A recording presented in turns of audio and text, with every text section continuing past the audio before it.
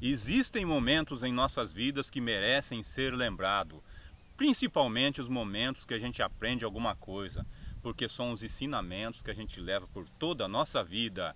E nesse vídeo a gente selecionou os melhores truques da obra de Santana de Parnaíba. Então não deixe de assistir o vídeo até o fim. Eu sou o Sérgio Eduardo, você está no canal Truque de Mestre. Inscreva-se no canal, deixe o seu joinha, acompanhe a gente nas redes sociais e bora pro vídeo!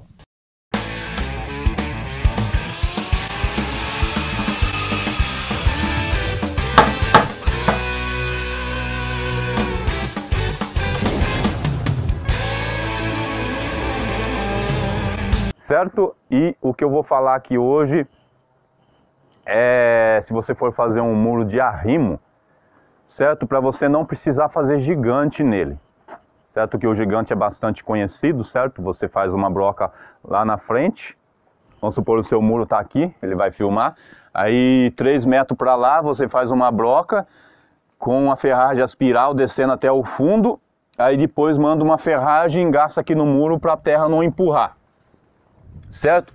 Mas tem essa técnica, que é o que eu estou usando aqui, em vez de você fazer o gigante, às vezes não dá para fazer, às vezes vai uma piscina lá atrás, certo? E dá um pouco de trabalho, porque você, de repente, se já tiver terra que nem esse daqui, a terra ali atrás, ali, ó, então você vai ter que cavocar para estar tá podendo fazer o gigante, que o gigante ele tem que ser em grau também, ele não pode ser em nível, ele tem que ser em grau. Então, alguns conhecem como é, é, mão francesa. Então, então, essa técnica aqui você não precisa fazer isso, certo? Então, eu vou explicar para vocês o porquê não precisa fazer isso. Tá vendo que o pilar aqui ele está atravessado, ó? Ele está de assim, ó. Está nessa posição. Então tá ao contrário do muro. Ele tem 40 centímetros aqui, ó, de, de largura daqui até onde está a ponta da trena, certo? Ó, 40 centímetros, legal? E aqui ele tem 20. Aí eu vou falar para vocês a quantidade de ferro que tem aqui. Aqui a gente tem 8 ferros de 16, tá vendo? Ó? 4 nessa posição, 4 nessa posição, vai dar um total de 8. Então o que vai trabalhar aqui nesse, neste muro é esses 4 ferros de 12 certo? E aqui tá, foi estrivado com 6.3, tá vendo? Ó?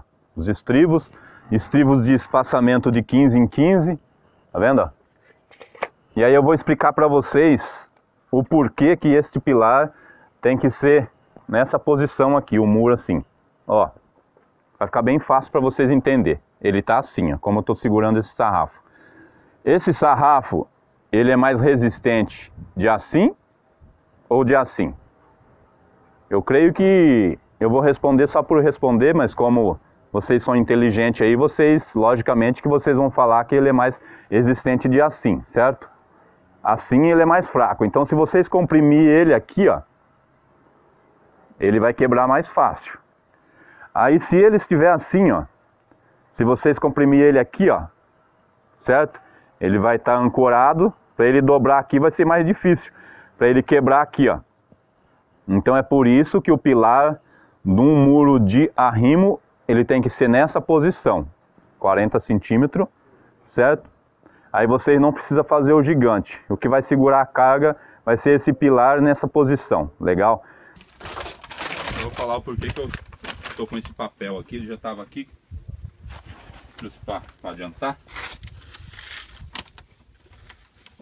Para você trabalhar com anel, o principal é você trabalhar sempre limpo. Tá vendo? E como aqui eu joguei, vou falar aqui, eu esqueci de falar. Aqui tem um pó de pedra no fundo aqui, ó, para poder fazer uma cama de proteção para o cano. É uma parte muito interessante também aí, um, um truque aí que é bom vocês fazer. Pode jogar areia grossa também. Pode ser areia grossa, areia fina, certo? Aqui está o conduíte elétrico. Esse conduíte aqui, eu vou pegar, eu tenho um solto aqui, ó. Ele tem duas polegadas, certo? É um conduíte próprio para estar tá recebendo carga de terra. Tá vendo? Ele é resistente, ó. ó. Certo? E ele tem uma fita de nylon, um fio de nylon como guia. Então quando o eletricista for passar os fios, ele não vai usar essa fita aqui como guia, esse fio de nylon, que corre o risco de não resistir. O que, que ele vai fazer? Ele vai passar um arame, certo? Um arame resistente ou um cabinho de aço para estar tá puxando os fios. Então ele tem essa guia aqui para estar tá depois puxando uma outra guia para puxar o fio, certo? Isso daqui faz parte também da parte elétrica e você não esquecer os pontos das lâmpadas, legal? Você chegar no seu cômodo, ele vai até dar um filmar aqui para cima aqui, ó. Então aqui tem dois pontos, tá vendo, de iluminação, certo? Então tá. Aqui tem dois pontos de iluminação, então você prevê onde vai ser os pontos de iluminação, tudo da sua casa. E o mais importante, você também não esquecer também dos pontos de iluminação dos beirais, certo? Ponto de iluminação dos beirais, porque aqui ainda, vamos supor, se aqui tivesse uma cobertura, você podia estourar alguma caixinha e, e distribuir para outro lugar. Mas nos beirais não tem jeito, porque vai ter o piso em cima e no caso você vai ter que estourar, estourar a laje para estar tá chegando com algum ponto de iluminação se você esquecer de algum. Então os pontos de iluminação do beiral. A passagem de água quente e fria dos banheiros, cozinhas, lavanderia e espaço gourmet. Legal?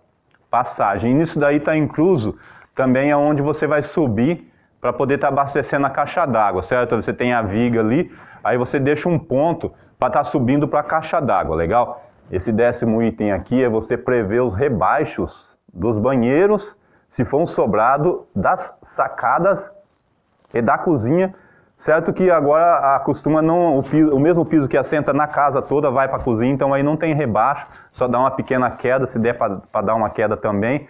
Então os banheiros é obrigatório você deixar os rebaixos, porque se você não deixar, o que você vai ter que fazer?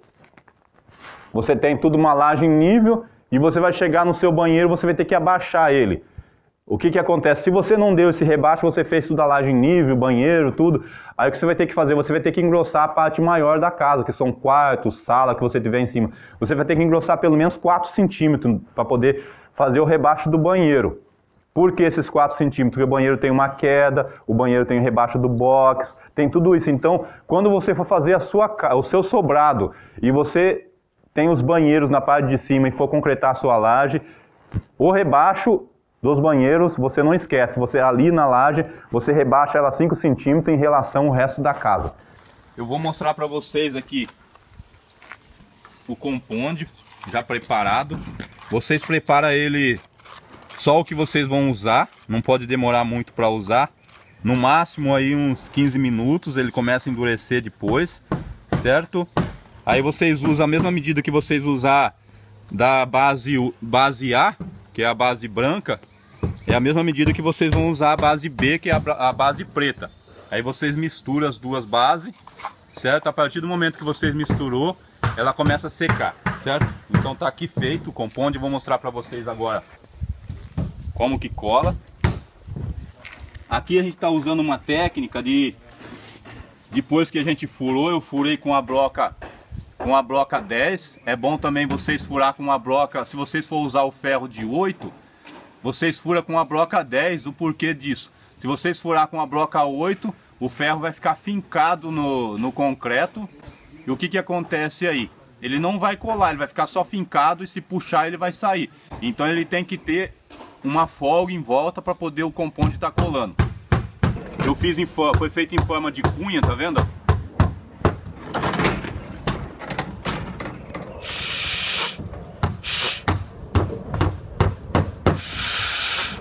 Por que em forma de cunha? Tá vendo que fica o furo aqui, ó? Você enfia metade, ó. Aí sai o pó. Se vocês pôr aqui assim, vocês vão estar tá soprando o pó lá para dentro e não vai sair.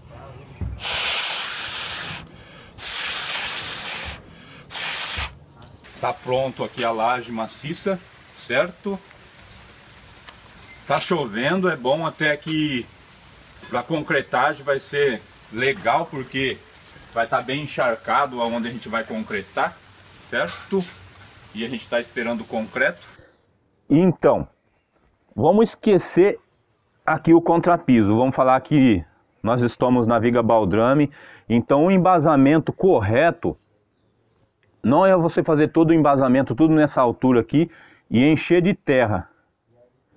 Vamos supor aí, vamos falar, você faz o seu embasamento, fecha tudo e aí enche de terra aqui, a viga fica lá embaixo e enche de terra até aqui. Não é bom isso. Por quê? Você enche de terra e depois você faz o seu contrapiso, porque o contrapiso vai ficar na altura aqui ó, do radier, ou às vezes até o contrapiso fica 3, 4 centímetros acima aqui do radier. O que, que acontece aqui? A sua terra vai estar aqui, o seu contrapiso, a umidade, pedi para ele abaixar um pouquinho para ver por baixo da minha mão o que eu estou querendo dizer. A umidade ela vai fazer isso aqui, ó. Aqui está o seu contrapiso, a minha mão, ela vai passar por baixo do contrapiso e vai ganhar atrás do contrapiso e subir pelo reboco. Acontece muito isso daí. No caso, aqui ó, é o fundo da minha laje, tá vendo? Ó? A seção dessa viga minha aqui, ó, ela pede uma viga com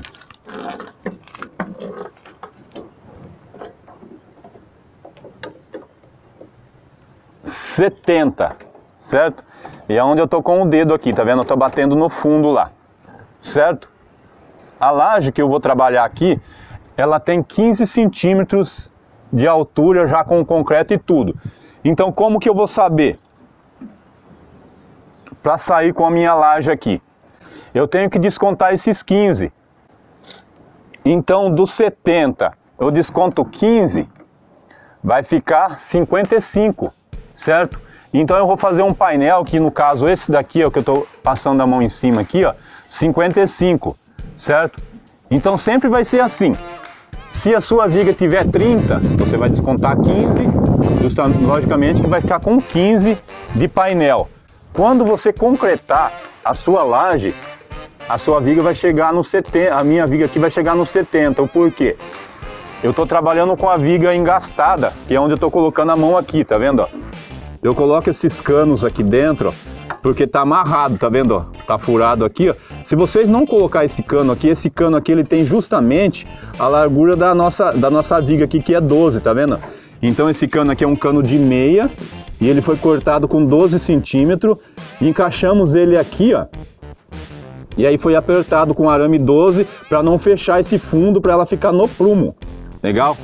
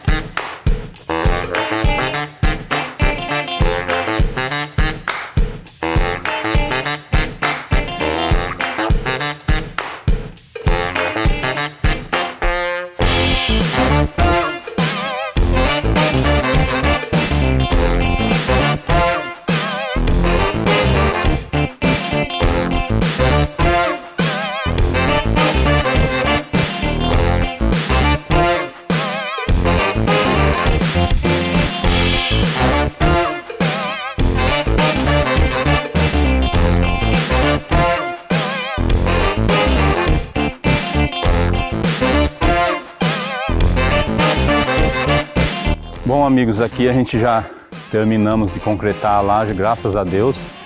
Então deu tudo certo. Ele vai mostrar para vocês como é que ficou. Eu já estou até pisando em cima dela aqui, agora é uma quase 4 horas da tarde. A gente já até jogou uma água aqui, tá vendo? Ó? Acabamos de jogar uma água, mas como está muito quente, já está até puxando. A gente vai molhar mais um pouco, certo? Então a laje é assim. Às vezes você não precisa esperar para outro dia para você começar a jogar água. Você percebeu que já deu uma secada, que você joga água e o concreto não está marcando, marcando que eu falo assim, fazendo a marca das gotículas de água.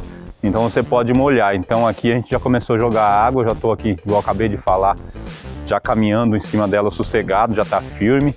Da metade para lá eu ainda não estou podendo molhar porque ainda não secou. Eu fui jogar água lá, começou a fazer marca das gotículas, então eu não não joguei água, mas aqui já está seco, certo? Então é isso daí. Você que tá, assistiu esse vídeo não conhece o nosso trabalho no YouTube ainda, os nossos vídeos E você que não é inscrito, inscreva-se no canal. Vou fechar esse vídeo e vamos descansar e até o próximo vídeo. Um abraço a todos e Deus que abençoe.